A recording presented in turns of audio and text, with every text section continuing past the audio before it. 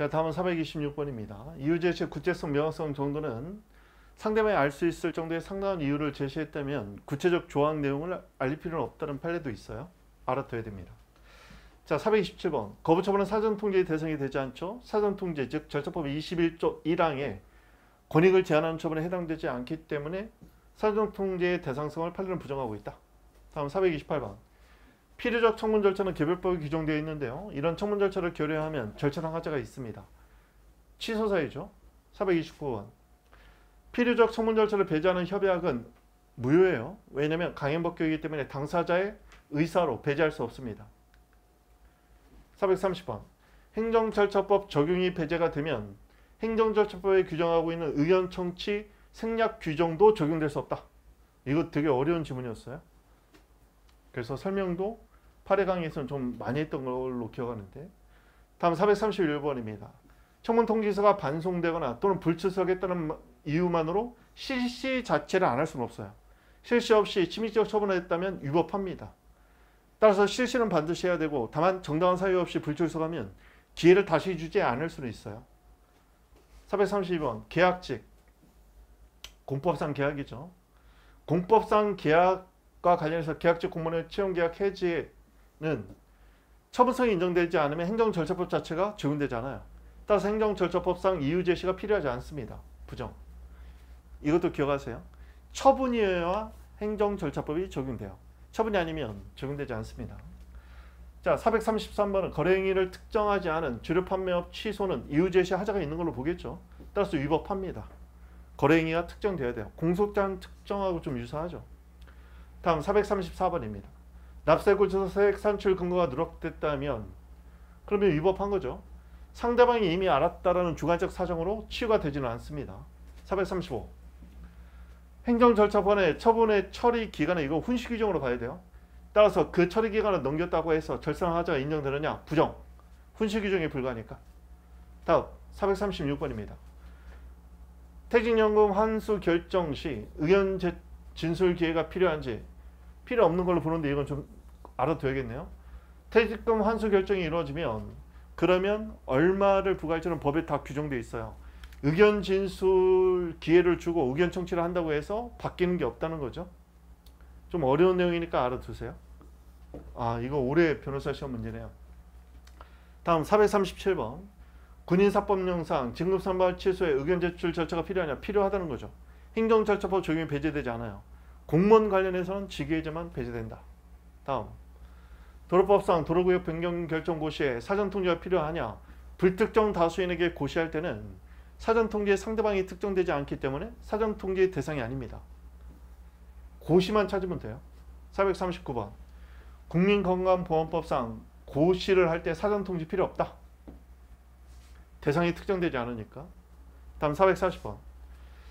체육시설업자 지휘승계 신고. 이거는 수리를 요하는 신고겠죠. 수리 처분 시 양도인에게 사전 통지를 해줘야 된다. 왜요? 지휘승계가 돼버리면 양도인의 영업자 지위가 소멸하죠. 침입적이기 때문에 양도인에게 대해 사전 통지를 해야 된다. 앞에서 이미 나왔고 우리 시험에서는 사례로 기출됐어요.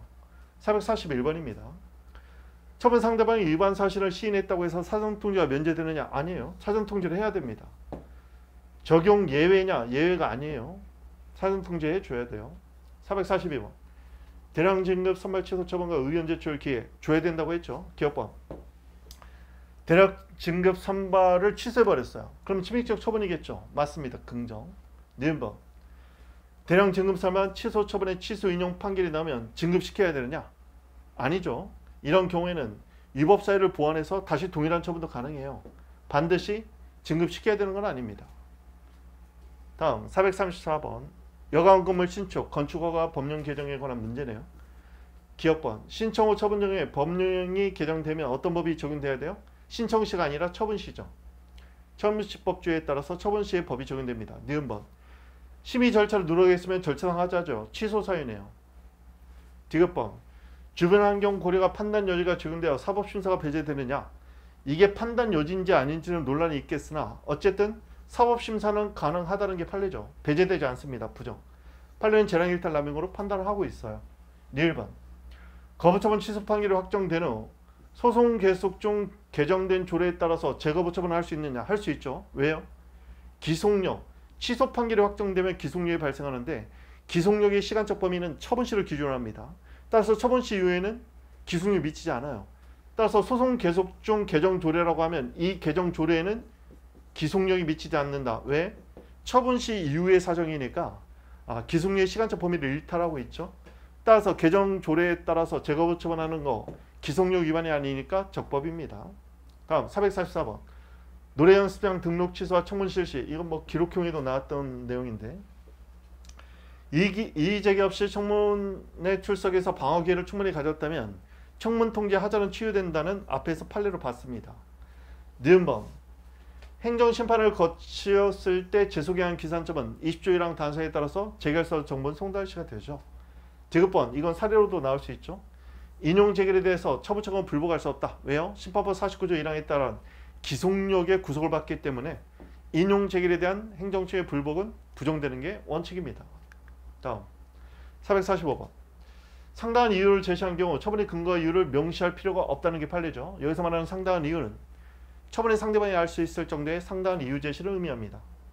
다음 446번 행정심판법상 불복 절차를 고지하지 않으면 위법 사유가 되느냐 불복 절차의 불고지는 독자적 위법 사유는 아니고 다만 심판 청구 기간만 연장된다. 며칠로요?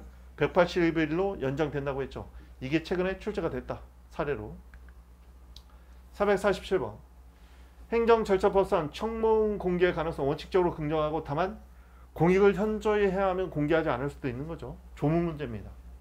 448번 의제되는 인허가의 요건을 못 갖췄을 때 주된 허가를 거부할 수 있느냐? 거부해야죠.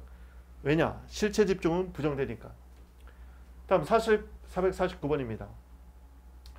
의제 제도가 규정됐을 때 반드시 관련 인허가를 의제 처리하도록 신청할 의무가 있느냐? 부정. 왜?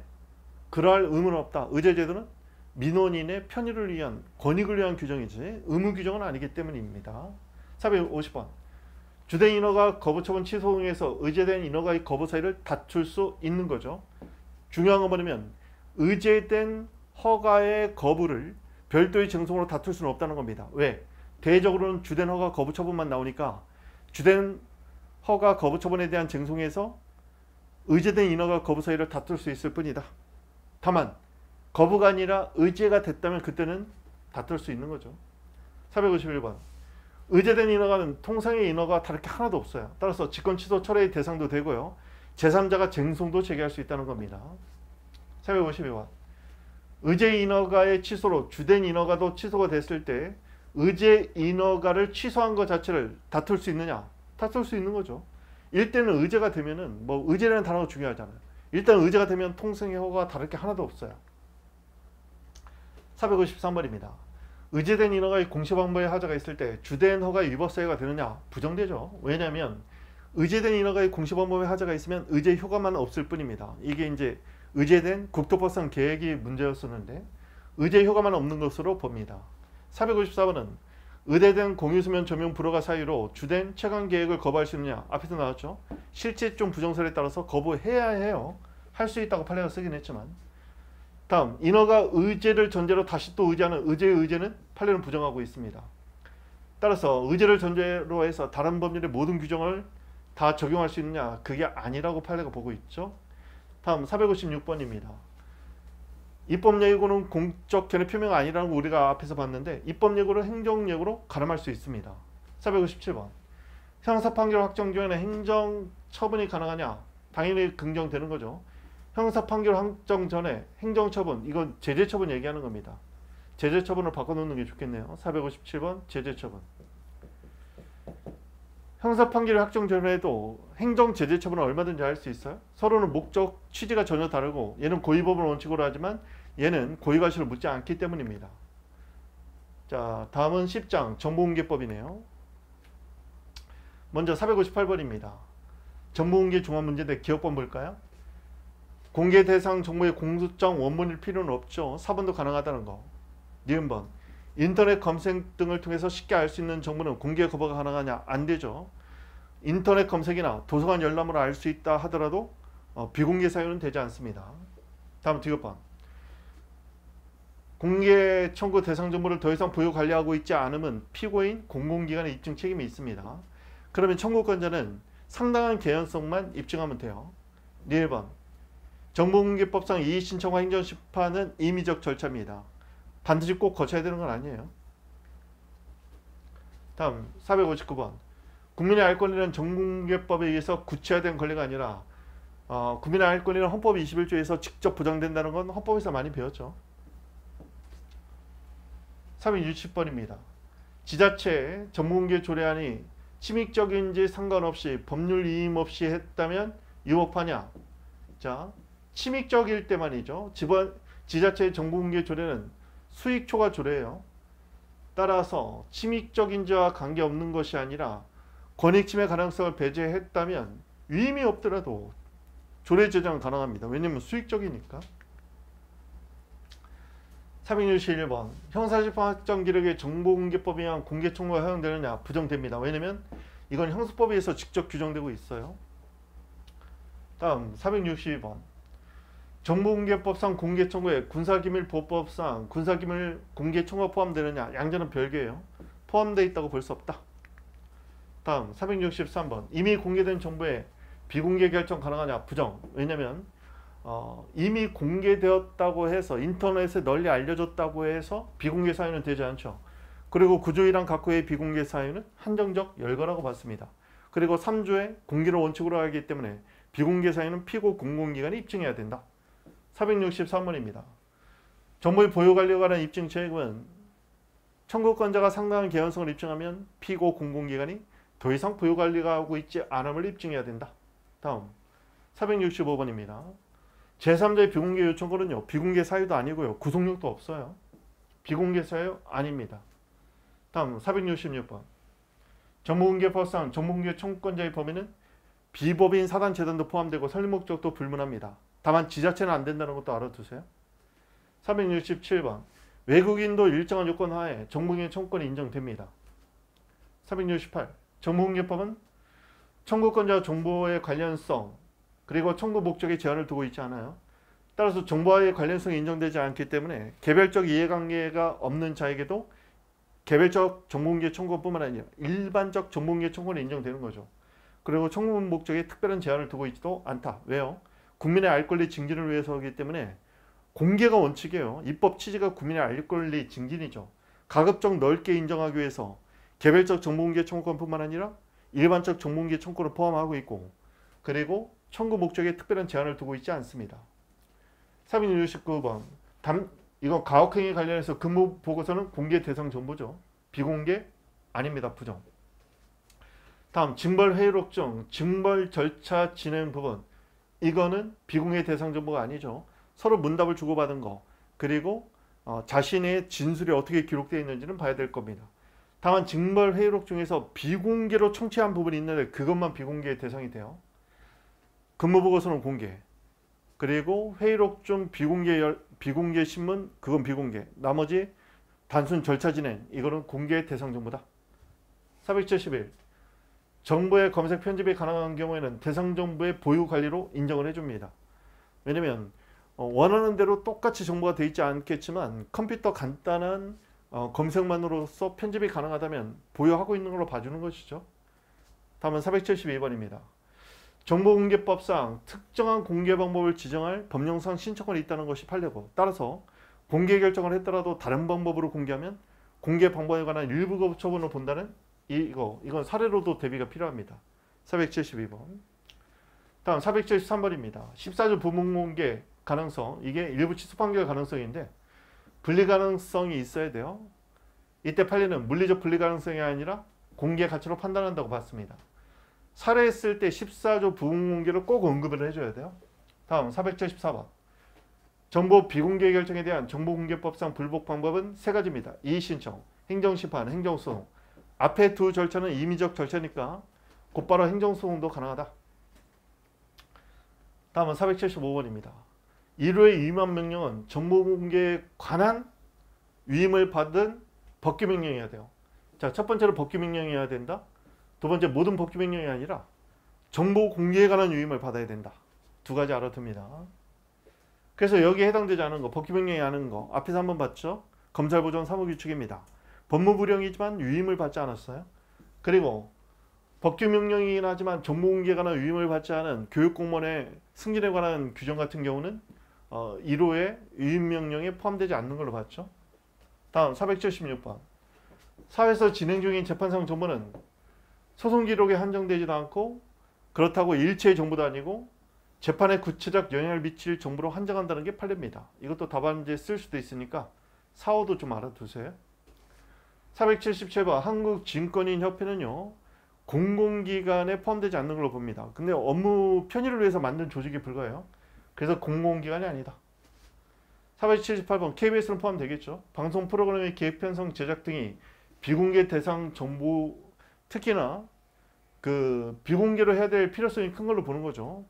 이런 방송의 자유 이런 것들 때문에 세트는 특허를 누렸나 그럼에도 불구하고 나중에 어, 비공개의 필요성이 훨씬 크다고 봤지만 사안에서 이제 공개 결정 공개 대상 정보로 판단은 이루어지긴 했는데 알아는 둬야 됩니다. 다음 479번 개인의 사생활의 비밀 6호인데 개인 식별 정보에 한정되지 않는다는 게 판례죠. 진술 내용도 포함됩니다. 그래서 피의사 신문 조서에서도 인적 사항뿐만 아니라 진술 내용까지 포함된다는 거 알아두셔야 됩니다. 다음 480번 사면 대상자에 관한 정보는 공개해 줘야죠. 사면 실시 건의 국무회의 안건 자료가 비공개 대상 정보냐 아니다. 사면 이거 너무 논란이 많으니까 공개해라. 481번 기업벌입니다. 저공개 청구일로부터 20일을 경과하면 뭘로 보느냐? 그건 부작위로 봐요. 거부 간주 조항은 국법에 있었는데 삭제가 됐습니다. 다음 신고조치 통지의 근거서류 일체 이건 특정된 걸로 봐요. 신고와 관련된 근거서류니까 관련 서류 일체가 그러면 특정되지 않는 걸로 본다고 했죠. 자, 법인의 영업상 비밀 판단에 있어서 비공개를 정당화시켜주는 비공개 정당한 이익은 엄격 해석을 합니다. 왜요? 3조 공개가 원칙이니까. 늘방 정보공개법에는 개별적 이해관계가 없는 일반적 정보공개 청구 포함된다고 앞에서 봤습니다. 482번 주택공사의 공공주택 수용가 등 관련 서류 일체 이건 특정이 안 되는 걸로 봤다고 했죠. 특정성을 부정합니다. 483번 정공개 거부처분 취소송의 소의 이익은 현재 보유관리하고 있을 것 상당한 개연성은 청구권자 더 이상 보유관리하고 있지 않다. 이거는 피고 공공기관이죠.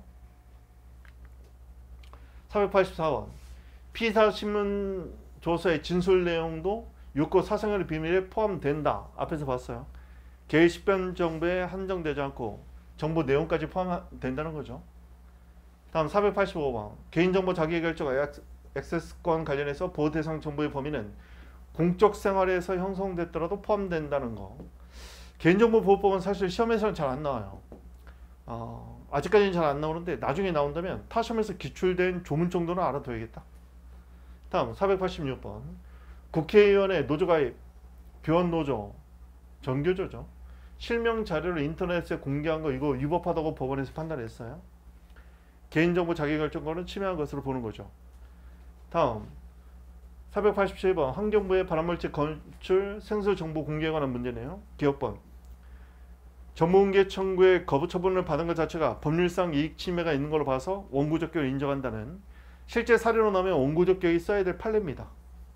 기업번은 다음 니은번 정보공개법상 제3자를 보호하는 규정이 있죠. 제3자에게 통지해 줘야 되고 제3자는 비공개 요청권과 그 다음에 이의신청 행정심판 행정소송 다 할 수 있어요. 제3자의 불복 규정이 있다. 디귿번 제3자는 이의신청 행정심판 행정소송도 제기할 수 있다. 자 다음은 488번입니다. 대학 수학능력 원데이터 이거는 5급 공채에서 출제가 됐어요 사례로. 이거는 공개 대상 정보로 봅니다. 국민의 알 권리가 훨씬 더 크다고 봤어요. 비공개 대상 정보 부정이라고 봤죠. 이 정보가 공개됐을 때 업무 수행에 현저한 지장이 있을 객관적인 고도의 개연성이 없다고 봤어요. 다음 489번입니다. 문제은행 출제 방식의 경우에는 비공개를 해주는 게 맞겠죠. 비공개 대상 정보 긍정됩니다.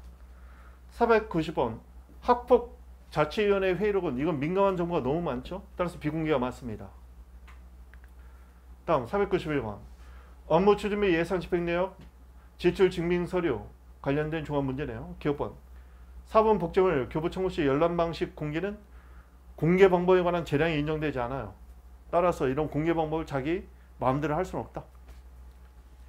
그리고 다른 방식으로 공개하면 어떻게 된다고요? 일부 거부처분 있는 걸로 본다. 니은번